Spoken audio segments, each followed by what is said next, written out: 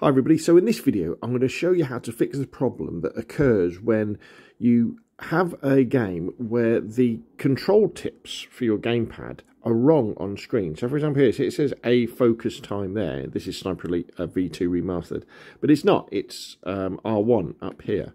And in fact a really funny example is if I go into the pause menu, you can see that it's got a select and A for back as well. And it's like, well, clearly this is wrong.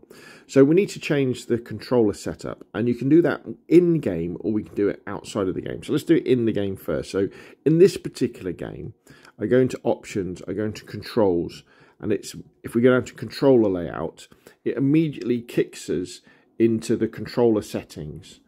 Um, and then what we want to do is we want to go to the top and we want to get away from the official layout because you may see official layout and think, oh, that must work. But often these layouts were done for the Steam controller a few years ago, especially for older games, which had, was a completely different controller setup than the Steam Deck.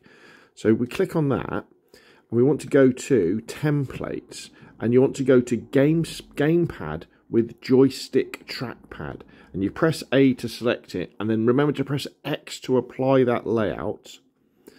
And then when we go back in now what we should see is when I aim down sights you see is there we go. It says RB focus time which is what it is. It's that one right button. There we go. And then when I go into the pause menu you can see we've got A select and B back. Now I know they're the kind of Xbox colours aren't they? But it, it's the right letters for the right um, for the right buttons. In fact, one of the upgrades I think I would do to my Steam Deck would be to change the buttons so they're the same as the Xbox ones. Yeah, those ones, so you can see them better. Also, I think I would change the colour of that button there, actually, and the Steam button. So I think they don't show up as much, do they? Okay, so one, so that's one way of doing it. The other way of doing it is if you press the Steam button here, you can go into controller settings.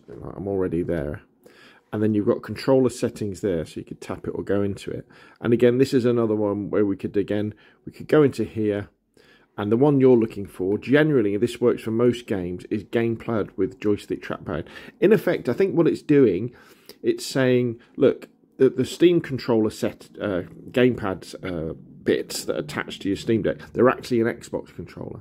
Because basically it's, it's all the same isn't it apart from the buttons on the back. So you select you would select that um, and then you remember just to press X to apply the layout and uh, that would then be in the game and you've now solved the problem. Now the other thing you may want to do, and I'll add this on as a bonus tip, that's copyright Wobo.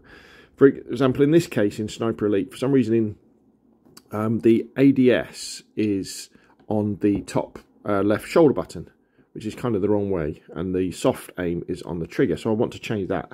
So if I want to customize this loadout, what we can do is we can press Steam, and then we will be in the controller settings. We go into controller settings, and we go to Edit Layout, like that.